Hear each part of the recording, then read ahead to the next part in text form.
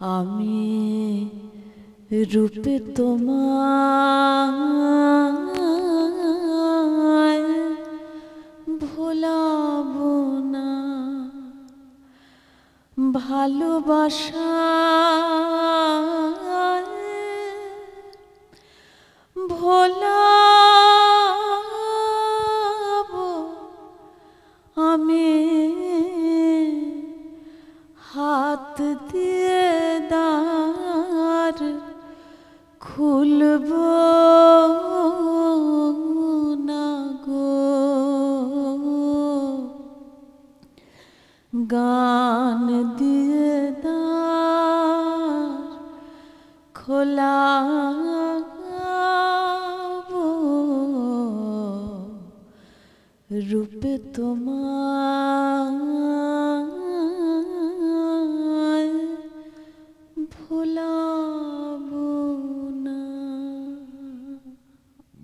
না ভূষণ ভারে, সাজাবো না ফুলের হারে। প্রেমকে আমার মালা করে, গলায় তোমার তোলাবো, আমি রূপে তোমায় ভোলাবো না, ভালোবাসায় ভোলাবো। জানবে না কেউ কোন তুফানে। তরঙ্গ দল নাচবে প্রাণে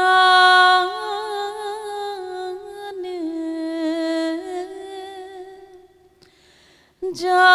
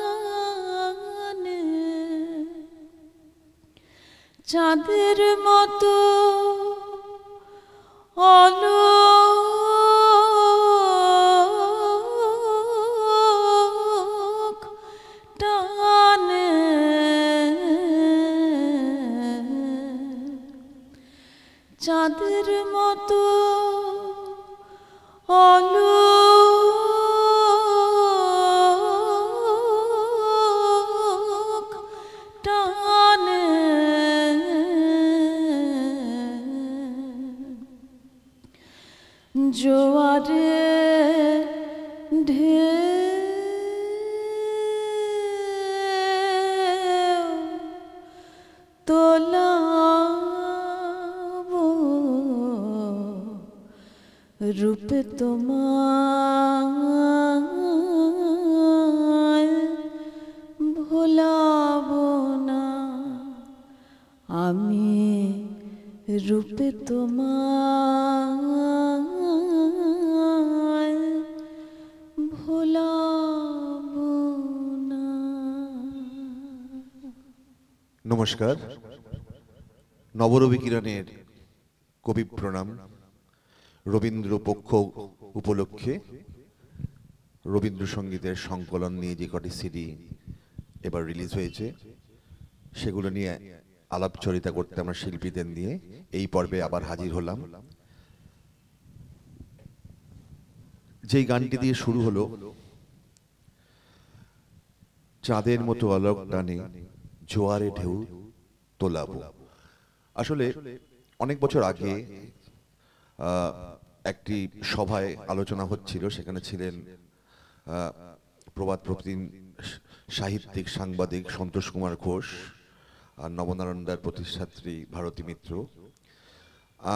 আলোচনায় সন্তোষবাবু বোধহয় বলেছিলেন যে বিশেষ করে এই গানটা, জোয়ারে ঢেউ তোলাবো, চোখ বুঝে গানটা শুনবে, মনে হবে যে আপনার ওয়েভের মতো ঢেউটা উঠছে, নামছে, সেটা উনি বোধহয় কণিকা বলে ডাকতেন।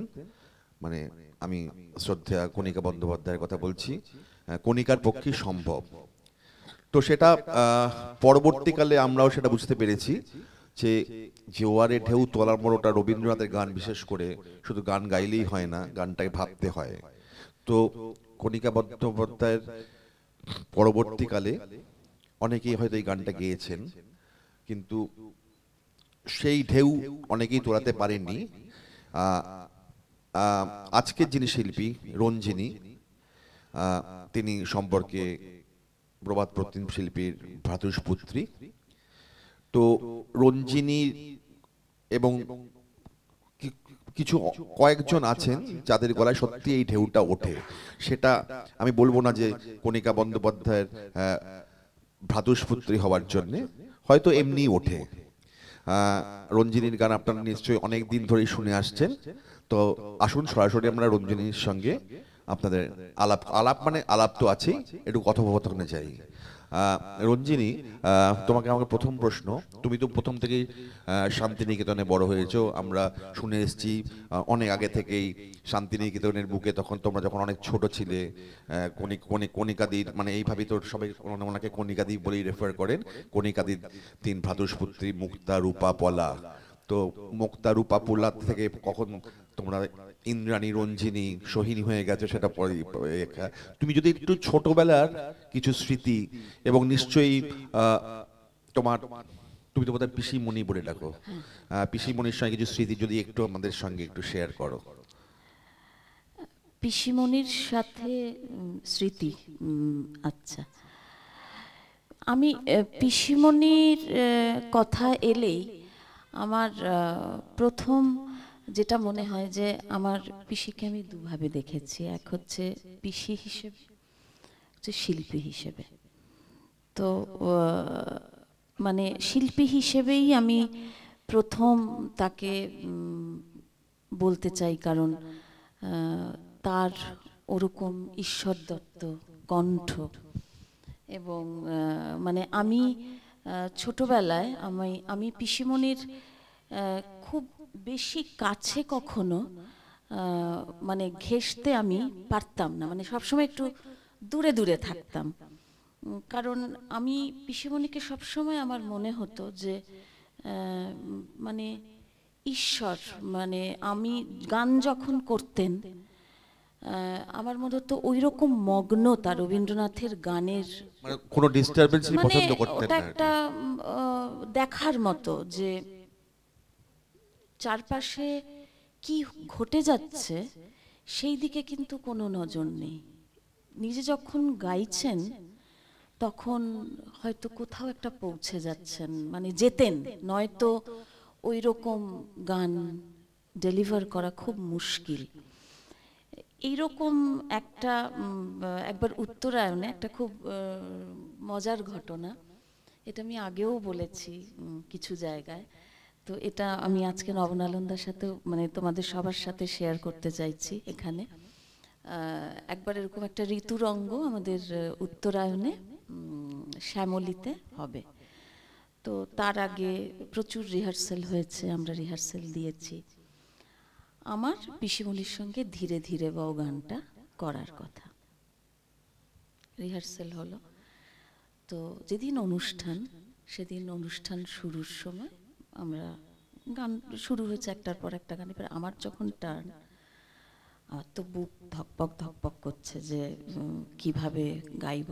হঠাৎ দেখছি মানে নিজেই গাইতে শুরু করে দিয়েছে। মানে আমি যে গাইছি সেটার খেয়াল মানে এতদিন ধরে রিহার্সেল দিয়েছি মানে নিজেই গানটা গাইতে শুরু করে দিয়েছেন হ্যাঁ। এবং ওই মুহূর্তে সেদিন হয়তো আমি ভীষণ আমার কিছুক্ষণের জন্য আমার ভীষণ কষ্ট হয়েছিল। আমি, আমার চোখ দিয়েও জল পড়েছিল। কিন্তু আমার মনে হয়েছিল যে সেদিন যদি আমি ওই গানটা শ্যামলিতে বসে না শুনতাম পুরো পিসিমণির ওই গায়কই ধীরে ধীরে বও পরবর্তীকালে ওইভাবে গাইতে মানে আমি হয়তো মানে সেই দিনটা না ওইটা হওয়াটাই উচিত ছিল। সেটা আমার পরবর্তী সময় মনে হয়েছে। এবং পিসি আমি পরে শুনেছি আমার ছোট পিসির কাছে আমার পিসির ক্ষেত্রেও না এরম জিনিস হয়েছে। দীর্ঘদিন গুরুদেবের সঙ্গে রিহার্সাল দিয়েছেন। তারপরে রবীন্দ্র সদনে স্টেজে উঠে- উঠে গুরুদেব নিজে সেইটা করে দিয়েছেন। আর পিসিমণি সেটা সুযোগ পায়নি।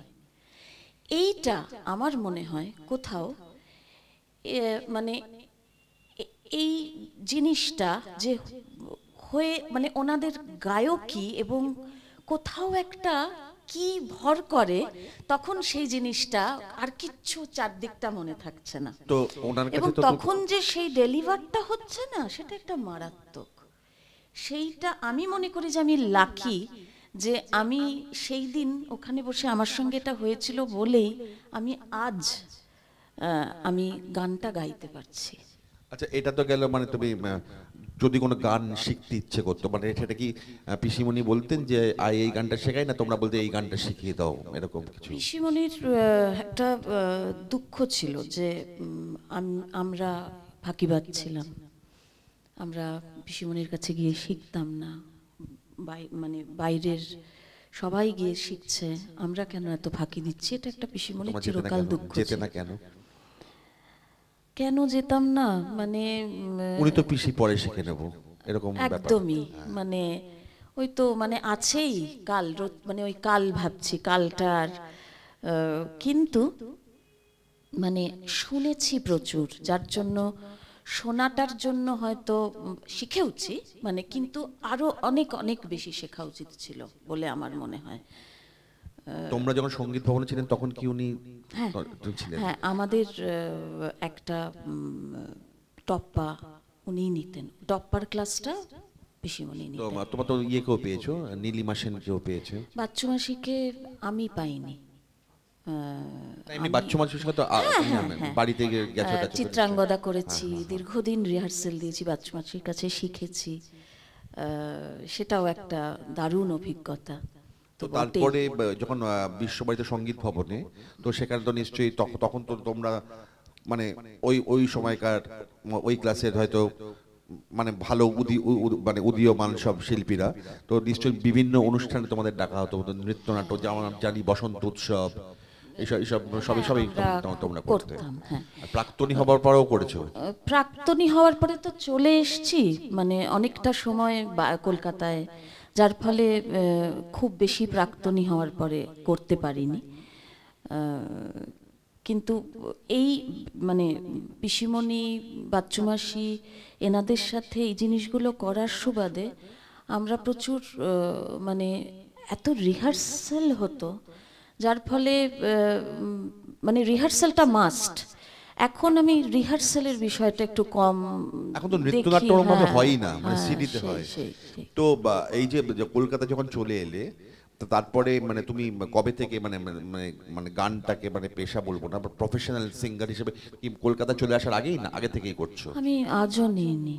মানে প্রফেশনাল না তা বলছি না মানে যে বাইরে গাইছো আমি ওইটাকেই মিন করছি। হ্যাঁ সেইটা আমার মানে কবে থেকে হয়েছে সেটা হচ্ছে আমার প্রথম এটা বাইরে গাওয়া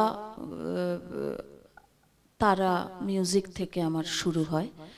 এবং এখানে আমার একটি কথা বলতেই হয় যে আমার বন্ধু ছোটবেলার আমার স্কুলের বন্ধু রেশমি সে আমাকে একদিন জোর করে টেনে নিয়ে গিয়ে যে সবাই আজ সকালের আমন্ত্রণে করছে, তুই কর। আমি তো কিছুতেই করব না। না না না। তখন ও বলল যে, না, তোকে করতেই হবে। বলে ও জোর করে আমাকে বাড়ি থেকে টেনে নিয়ে গিয়ে আজ সকালের আমন্ত্রণে বসালো। তার আগে ইনফ্যাক্ট আমি কিছু অনুষ্ঠান করেছিলাম, সেটা চৈতালি দাশগুপ্ত তার সাথে প্রচুর, চৈতালি দাশগুপ্ত আমাকে দিয়ে অনেক জায়গায় গাইয়েছেন। মানে সেই হিসেবে ঘর থেকে বার করা, সেটা চৈতালিদিরও কৃতিত্ব আছে। তো সেই প্রথম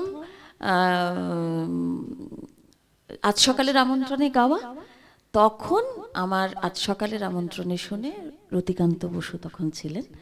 তখন রেশমিকে ডেকে বলেছিল যে, ওকে দিয়ে এক্ষুনি চিরন্তনীর রেকর্ডিং করাও। সেই চিরন্তনী শুরু এবং আমার বাইরে গাওয়া শুরু। আসলে রঞ্জিনী নামটা থেকে যখন ভাবে পরিচিত হলো, এখন তো সর্বত্রই অনুষ্ঠান করছে। কিন্তু নবনানন্দার সঙ্গে যখন পরিচয়, তখন কিন্তু নবনন্দা এসে কেউ রঞ্জিনী মুখোপাধ্যায়ের নাম বললে কেউ বলতে পারতো না। কারণ ও রূপা নামেই পরিচিত। সেটার কারণ হচ্ছে আমাদের যিনি প্রতিষ্ঠাত্রী ভারতী মিত্রর, উনি স্নেহধন্যা ছিল এবং বিভিন্ন অনুষ্ঠানে আমার এখনও মনে আছে, যখন থেকে সাদান এভিনিউ বুলেভার্ডে এই রবীন্দ্র জয়ন্তী হয়, তখন রূপা হয়তো অনেক অনেক ছোট, সদ্য সদ্য গান গাইছে। প্রথমটা হয় অতিথি অতিথি শিল্পীদের অনুষ্ঠান, তারপরে হয় ছাত্রছাত্রীদের নিয়ে নৃত্যগীতি আলেখ্যত। সেখানে অনেক সময় কিছু ডান্স ড্রামা হয়েছে, যেখানে একটু সোলো পার্ট থাকে। তখন উনি বলতেন এটার জন্য একটু রূপাকে ডাকা হোক। তো রূপা রেগুলার রিহার্সাল করতো আসতো এবং এখন যখন এখন নাম করা শিল্পী হয়ে গেছে যখন অতিথি শিল্পী এ- এ- এটা এটা আমরা। একদম নই। না না সেটা বলছি না সেটা আমাদের কথা বলছি। তখন এখনও যখন এখন প্রত্যেকবারই অতিথি শিল্পী যখন যখন গায় কিন্তু এখনও দরকার পড়লে কিন্তু পরবর্তীকালে থেকে গিয়ে আমার তো মনে হচ্ছে আগের বাড়ি এরকম একটা ঘটনা ঘটে ঘটে- ঘটেছিল যে ও গাওয়ার পর থেকে গিয়ে ওই ওই নৃত্যগীতি অনুষ্ঠানে গান গিয়েছিল। আসলে রূপার সঙ্গে এটা উনি ভারতী মিত্রই বলতেন যে কণিকা বন্দ্যোপাধ্যায় কথাবার্তায় তো একটু মানে অনেক মি অনেক মিল আছে। যেমন ওকে যদি বলা হয়, তোমার গান খুব ভালো লেগেছে, ও বলবে এটা কি আমাকে খুশি করার জন্য বলছো? সুতরাং কিন্তু ওর গান যে এখন সব জায়গায় শোনা যাচ্ছে সবাই শুনছেন সেটা তো বলা বাহুল্যই। এবং নবনানন্দা নবরবি কিরণ বরুণ সিনেমাস মিউজিকের যে কোনো অনুষ্ঠানে ও কিন্তু সব সময় আসে যে কোনো সময় এখানে আমি একটুখানি বলতে চাই যে মানে সেটা ভারতী মাসি আর্যমেশর অসংখ্য আশীর্বাদ আছে পিসিমণির আশীর্বাদ আছে। এবং নবরবি কিরণ এবং নবনালন্দার যাবতীয় অনুষ্ঠানে আমি সব সময় গান গেয়েছি এবং এটা আমার, নবনালন্দা হচ্ছে আমার একদম পরিবারের মতো। এখানে, এখান থেকে আমি অনেক কিছু শিখেছি। সব থেকে বড় কথা যেটা যে, মানুষ আমি মনে করি যে, যত বেশি গান গাওয়া যায়, তত বেশি নিজের বোঝা যায় যে আমার কোথায় ভুল হচ্ছে কোথায় ঠিক হচ্ছে। এবং এই জিনিসটা আমি এতটাই নবনালন্দা থেকে পেয়েছি সমস্ত রেকর্ডিং প্রোগ্রাম মানে এইটা আমাকে নবনালন্দার কাছে আমি চিরকৃতজ্ঞ আরেকটা ব্যাপার আছে যে অনেক শিল্পীদের হয় সেটা হতেই পারে যে কোনো একটা অনুষ্ঠানে এলাম এলে- এসে আমি কোরাসে দাঁড়াবো না। কিন্তু ও রঞ্জিনী কিন্তু নিজে থেকেই বলে ওই যে ওর যেটা ও বলল যত প্র্যাকটিস হয় তত ইমপ্রুভমেন্টের ব্যাপারটা থাকে। আমি এটা ভীষণ বিশ্বাস করি। মানে এটা আমার বিশ্বাস যে এটা হয়। এবং ছোটবেলা থেকে কখনোই কোরাস গান আমরা শান্তিনিকেতনে যে করেছি কখনো ভাবিনি যে ফার্স্ট লাইনে দাঁড়িয়ে করছি না সেকেন্ড লাইনে দাঁড়িয়ে করছি। সেই জিনিসটা আমার এখনও যে আমি কোরাস গাইতে ভীষণ ভালোবাসি এবং আনন্দে আমি থার্ড লাইনে দাঁড়ালাম না ফার্স্ট লাইনে দাঁড়ালাম it's not important at all আরেকটা যেটা এখনই মনে মনে পড়ল, হঠাৎই মনে পড়ে গেল, একবার মনে আছে, এটা বোধহয় নবদানন্দার চল্লিশ বছর উপলক্ষে নজরুল মাঝের অনুষ্ঠান হয়েছিল, সেখানে শান্তিনিকেতন থেকে একটা ট্রুপ এসেছিল, সেটা মানে কণিকা বন্দ্যোপাধ্যায় নিয়ে এসেছিলেন। তখন বোধহয় ওনার শরীরটা একটু খারাপ ছিল, এবং ন্যাচারালি উনি থাকলে তো চার, পাঁচ টাকার উনি গাইবেনই, এবং তখন আমার মনে আছে, রঞ্জিনী আর সৈনী এসছিল সঙ্গে যেই যেই পার্টটায় ওনার অসুবিধা হবে ওরা গেয়ে দেবেন। কিন্তু সেরকম মানে কণিকা বন্দ্যোপাধ্যায় এইটাই একটা ব্যাপার ছিল। সেরকম ভাবে রিহার্সাল করে এলো হয়তো গানের সময় ভুলে গেলেন। মানে মুড মানে প্রচণ্ড ওইটাই তো আমি মুডের ব্যাপার ছিল তো। এটাই হচ্ছে আসল শিল্পীর পরিচয়। যাই হোক আমরা কয়েকটা প্রশ্নে যাব। তো তুমি যে এই যে সিডিটা করেছ নব অনুরাগে এটা তো তোমার তুমি কি বলতে পারবে এটা কততম সিডি এখান থেকে নবরবি কিরণ সিনেমাস মিউজিক থেকে? ভুলে গেছি। হ্যাঁ। আমার মানে এখানের সমস্ত কাজ নবরবি কিরণের সব কিছুতেই তো আমি মানে হ্যাঁ, আমি আছি মানে, হ্যাঁ, এবং সব বিভিন্ন তোমরা পাশে থেকেছো। বিভিন্ন ডান্স জামাতেও তো গেছো তুমি তুমি তোমার শ্যামা শ্যামাও করেছ এখানে হ্যাঁ।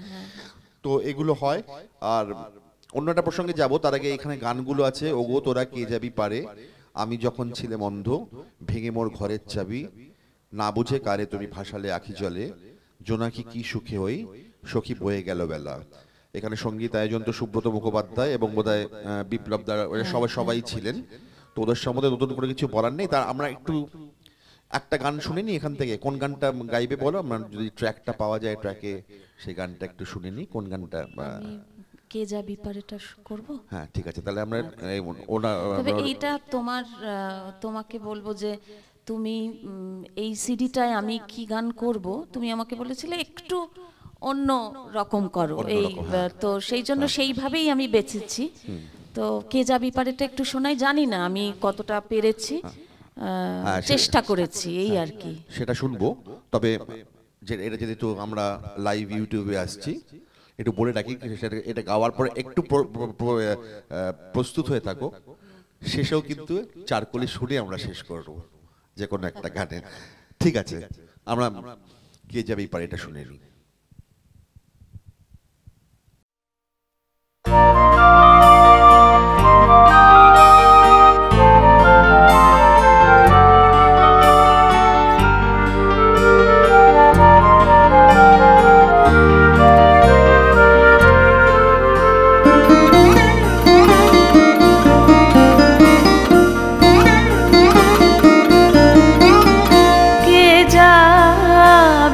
পারে? ওগো তোরা কে? যাবি পারে, ওগো তোরা কে? আমি তোরি নিয়ে বসে আছি নদী কিনারে। আমি তোরি নিয়ে বসে আছি নদী কিনারে। কে যাবি পারে, ওগো তোরা কে? কে যাবি পারে? ওগো তোরা কে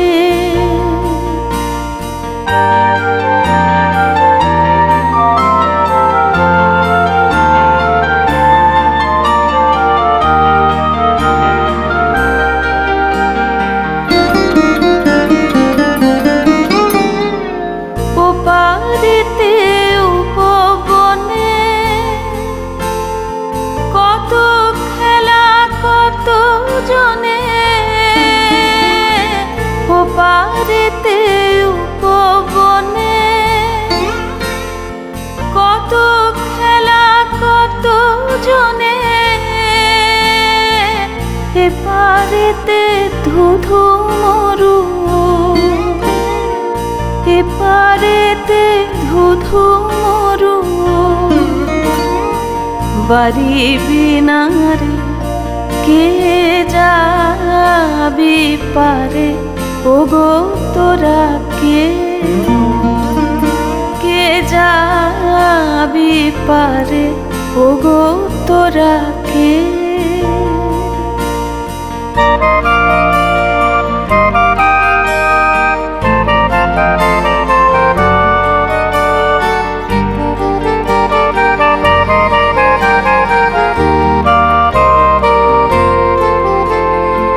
এই বেলা বেলায় আছে আয়ে কে যাবি? এই বেলা বেলায় আছে আয়ে কে যাবি? নিচে কেন? কাটে কাল কত কি ভাবি সূর্য পাটে যাবে নেমে, সুবাতাস যাবে থেমে। সূর্য পাটে যাবে নেমে, সুবাতাস যাবে থেমে। খেয়া বন্ধ হয়ে যাবে, সন্ধ্যায় আধারে খেয়া বন্ধ হয়ে যাবে সন্ধ্যায় ধারে কে যাবি পারে? ওগো তোরা কে? কে যাবি পারে? ওগো তোরা কে? আমি তোরি নিয়ে বসে আছি নদী কিনারে। আমি তোরি নিয়ে বসে আছি নদী কিনারে, কে যাবি পারে? ওগো তোরা কে? কে যাবি পারে? ওগো তোরা কে? বা অসাধারণ। তো এরকম গানগুলো যদি আরোগুলো হয় তাহলে যেটা নিয়ে বলছিলাম যে সিডি থাকবে কি থাকবে না, সেটা একটা অবান্তর প্রশ্ন হয়ে যাবে। না, আরেকটা প্রশ্ন আমার ছিল তোমার কাছে। তুমি যে যেটা বলছিলে যে পিসিমণির কাছে ছোটবেলায় যাতায়াত, তো সেই সুবাদ মানে আরেকজন প্রবাদ প্রতিম শিল্পী সুচিত্রা মিত্র তো শান্তিনিকেতন গেলেই তো ওনার বাড়িতে যেতেন। সে তো যাওয়া হতোই। সুচিত্রা মাসির কাছে কখনো সেভাবে গান শেখা বা ওইটা হয়নি অনেক অনেক অনেক গুণীজনের তো যাতায়াত ছিল। অবশ্যই হ্যাঁ। অবশ্যই। পাশের বাড়িতেই তো দ্বিজেন মুখোপাধ্যায় হ্যাঁ, থাকতেন হ্যাঁ। আর হেমন্ত বাবু তো যেতেন। সেটা তো মানে তখন তো আমরা ছোট। স্বর্ণযুগ, হ্যাঁ, এবং এত বড় মাপের মানুষদের দেখেছি সান্নিধ্যে গেছি কিন্তু তখন ছোট মানে বুঝেই উঠতে পারতাম না যে কি মানে যত দিন গেছে তত রিয়েলাইজ করেছি যে কি আমরা ছোটবেলায় কি জিনিস পেয়েছি, সেটা সত্যি ভাগ্যের। তোমার গানের ধরনটা যখন জানি, তখন একটা প্রশ্ন বারে বারেই আসছে যে আজকালকার দিনে অনেক শিল্পী আছে মানে মানে এই জেনারেশনের শিল্পী, তারা চায় একটু মানে অন্য ধরনের মিউজিক হ্যাঁ যেটা আগেকার দিনে, যেমন ধরো এই ধরো, যাদের নাম বললাম তারা মনে করতেন যে গানটা হলো অন্তরা বা সঞ্চারী ডাকে এক লাইন করে সেটা বাজলো, আবার গানটা হল- হলো।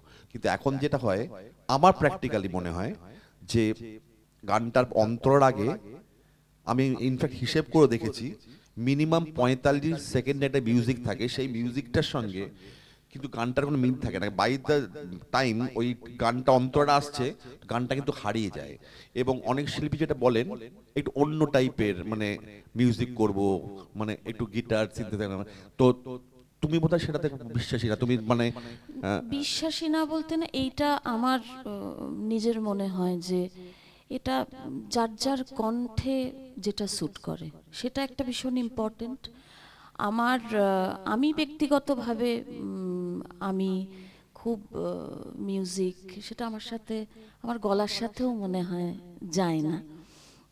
কিন্তু আমি এটাও আবার বলব তার সাথে যে ভালো যদি হয় মানে ভালো অ্যারেঞ্জমেন্ট হলে আহ, সেটা আমার যে ভীষণ আমি ওই দিকে গোড়া তা নয় যে একদম শুধু এসরাজ বা মানে তানপুরা নিয়ে গাইতে হবে। সেরম নয় কিন্তু ভালো জিনিসটা সব সময় ভালো। তবে এখন ভীষণই মানে এত বেশি মিউজিকটা ব্যবহার হচ্ছে সেটা আমার মনে হয় যে রবীন্দ্রনাথের গানটা ভীষণ বেশি এফেক্টেড হচ্ছে। মানে আসলে যেটা মানে ক্লান্তি ক্লান্ত লাগছে এই নিয়ে তো অনেক কন্ট্রোভার্সিয়াল মানে ডিবেট আছে হ্যাঁ, যেমন রবীন্দ্রসঙ্গীতের মানে কথা সুর নিয়ে এমন সুতরাং তোমার কি মনে হয় যে এটা একটু মানে একটু কন্ট্রোভার্সিয়াল ইস্যু পাগলা হওয়ার বাদল দিনে করতে গিয়ে উলালা দরকার হয় না তাই তো? একদম। যাই হোক এটা হয়তো এই প্রজন্মের একটা অন্যরকম। কারণ আর আরেকটা জিনিস আমার খুব খারাপ লাগে মানে আমার চেনাশোনা শিল্পীও করেন এই মোবাইল হাতে ধরে গান করা ঠিক হ্যাঁ। ঠিক। তো আমি তো পারি না মানে যাই হোক সেটা তো সময়ের সঙ্গে সবই আমাদের হ্যাঁ, মেনে নিতে হয়। তো খুবই ভালো হলো তো রঞ্জিনীর গান যেটা সিডি আমরা যে প্রত্যেক পর্বেই বলে আসছি। আপনারা গান শুনবেন সিডি কালেক্ট করবেন তাতে শিল্পীরাও যেমন উজ্জীবিত হয় তা তার এর পেছনে যাদের যাদের অবদান যেমন এই সিডির পেছনে এবং নবরবিক্রমের সব সিডির পেছনেই যেই শিল্পীরা যন্ত্রসঙ্গীতে আছেন বিপ্লব মণ্ডল বলুন সুব্রত মুখোপাধ্যায় বলুন বুবাই নন্দী বলুন তো এদের বাজনা নইলে কিন্তু মানে হারিয়ে যাবে। মানে এদের এদের ছাড়া তো রবীন্দ্রসঙ্গীত হয় না। এক কথায়। এবং সিডির মানে এরকম ঘটনা আছে কোনো একটা অনুষ্ঠানে কোনো আর্টিস্ট গান গাইতে এলেন তবলায় কি আছে বিপ্লব দা? সেইভাবে গান সিলেক্ট হচ্ছে। আর সুব্রত মুখোপাধ্যায়ের কথা কি বলব? সে তো মানে ধরুন একদিন হয়তো হতে পারে তোমার গলা ঠিক নেই।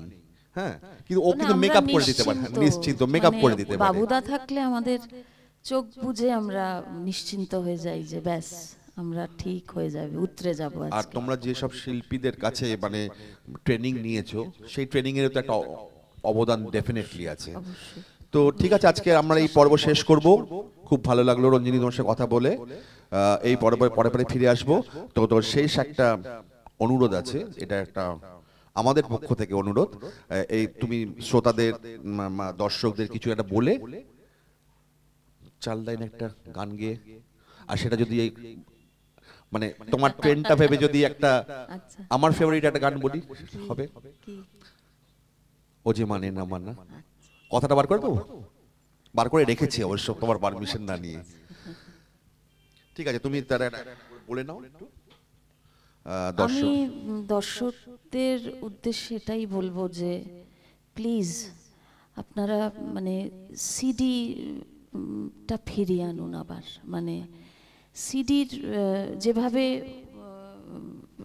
নবরবি হ্যাঁ, যেভাবে আমাদের পাশে সকলে মানে শুধু সেটার জন্য নয়, পরি- না, CD টা একটা মানে শিল্পীরও একটা প্রয়াস একটা। এখন আর কেউ বার করছে না। সিঙ্গলস সিঙ্গলস হ্যাঁ।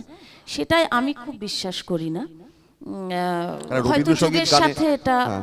হচ্ছে ঠিকই কিন্তু সিডির আমি মনে করি যে এই যে সিডিটা আমি একটা হাতে নিলাম এর যে একটা ছোঁয়া এর একটা গন্ধ থাকে আমরা যখন একটা সিডি রেকর্ডিং করি তার পেছনে প্রচুর খাটাখাটনি এবং আমার সব থেকে মনে হয় যে এই যে স্পর্শ স্পর্শটা ভীষণ ইম্পর্টেন্ট হ্যাঁ, এবং তার সেটাও- একটা মানে সেটাও যেমন ঠিক মানে রবীন্দ্রসঙ্গীতটা আমরা কি দুঃখে সুখী সময় শুনি সুখে শুনি হ্যাঁ। আনন্দে শুনি মানে এবং কিছু কিছু গান যেমন ধরো আহ, এই যে আজও সাকিব বা তুমি যেটা গান গাইলে চোখ বুঝে শুনতেই খুব ভালো ভালো লাগে।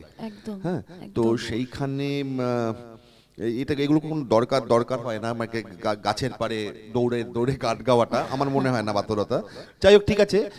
সিডি তো তুমি যেটা বললে সিডি মানে নিশ্চয়ই থাকবে। আমার এটাই অনুরোধ হ্যাঁ, যে CD নিশ্চয়ই এবং আমার বিশ্বাস যে আবার সিডি ঠিক আছে। তাহলে আমরা একটা গান দিয়ে এই গানটা যদি একটু গাইতে পারো। মানে না মানে, আচ্ছা। হুম, হুম।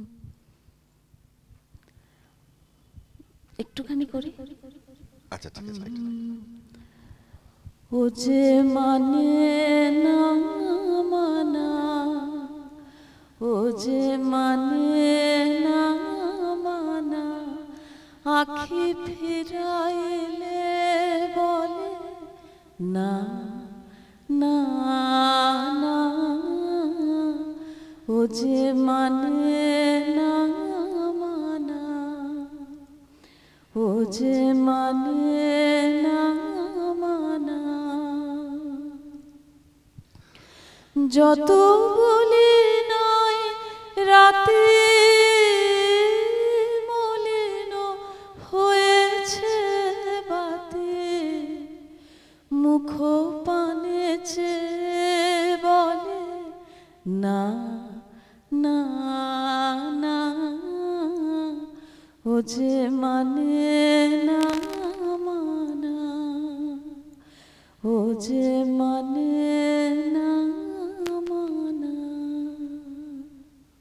কথা, সুর ও গায়কির পরে আর কোনো কথা চলে না। রঞ্জিনী ও আমার তরফ থেকে নমস্কার, ভালো থাকবেন, পরবর্তী পর্যায়ে আবার ফিরে আসব। সঙ্গে থাকুন, দেখতে থাকুন।